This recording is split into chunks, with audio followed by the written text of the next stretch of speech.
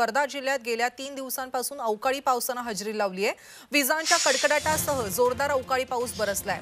जिल्ह्याच्या देवळी वर्धा हिंगणघाट सेलू समुद्रपूर आर्वी आणि कारंजा या तालुक्यात पाऊस बरसलाय. या पावसानं ग्रामीण भागातील गहू हरभरा संत्री आणि भाजीपाला पिकांचं मोठं नुकसान केलंय. वादळी वाऱ्यासह अवकाळी पावसामुळे कारंजा तालुक्यातील सावळीमधले शेतकरी रामचंद्र घागरे यांच्या शेतातील संत्रा फळ गळून पडले यात त्यांचं जवळपास पाच ते सहा लाखांचं नुकसान झालंय. तर या पावसामुळे ग्रामीण भागातल्या तीन तालुक्यातील वीज पुरवठा सुद्धा काही काळ खंडित झालाय. वर्धा जिल्ह्यात गेल्या तीन दिवसांपासून अवकाळी पावसानं हजेरी लावली असून विजांच्या कडकडाटासह जोरदार अवकाळी पाऊस हा वर्ध्यात बरसलाय. जिल्ह्याच्या देवळी वर्धा हिंगणघाट सेलू समुद्रपूर आर्वी कारंजा या तालुक्यात पाऊस बरसला असून संत्री भाजीपाला गहू हरभरा या पिकांचं मोठ्या प्रमाणात नुकसान झालंय.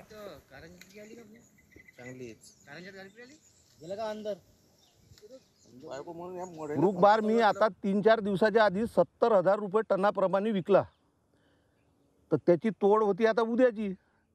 तर हे अठरा एकोणीस तारखेला जे वादळ पाऊस गारपीट आलं त्याच्यात माझा जवळपास अर्धा माल पूर्ण खाली गळला आता. म्हणजे जवळपास सात टन मालाचे माझे साती साती एकोणपन्नास चार लाख नव्वद हजार पाच लाखाचं नुकसान झालेलं आहे. छत्रपतींचा विचार म्हणजे?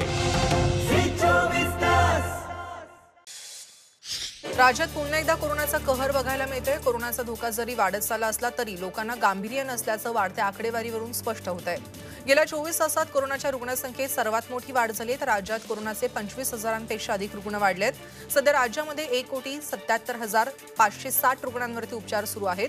मुंबईत गेल्या चोवीस तासात आजपर्यंतची सर्वात मोठी रुग्णवाढ झाली आहे.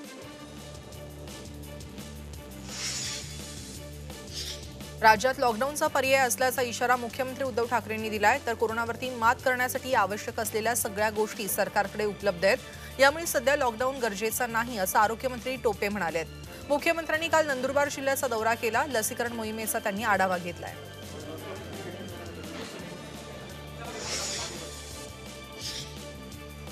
कोरोनाची वाढती रुग्णसंख्या बघता आता प्रशासन ठोस पावलं उचलणार असं चित्र आहे. कारण दररोज दादरच्या भाजी मार्केटमध्ये होणारी गर्दी आपण बघत असतो ही गर्दी अशीच होत राहिली तर मार्केट बीकेसीला हलवलं जाईल. पालकमंत्री असलम शेख यांनी सुद्धा गर्दीची ठिकाणं कंटेनमेंट झोन केली जातील असं सूचक वक्तव्य केलंय. त्यामुळे दादर भाजी मार्केटच्या विक्रेत्यांमध्ये काहीशी नाराजी आहे. गेल्या चोवीस तासांमध्ये राज्यात तब्बल पंचवीस हजार सातशे एक्क्याऐंशी नव्या कोरोनाबाधितांची नोंद झाली आहे. यामध्ये सर्वाधिक तीन हजार बासष्ट कोरोनाबाधित मुंबईत सापडलेत. चिंतेची बाब म्हणजे आतापर्यंत मुंबईत एका दिवसात सापडलेले हे सर्वाधिक रुग्ण आहेत. तर लाल मातीतली कुस्ती. म्हणजे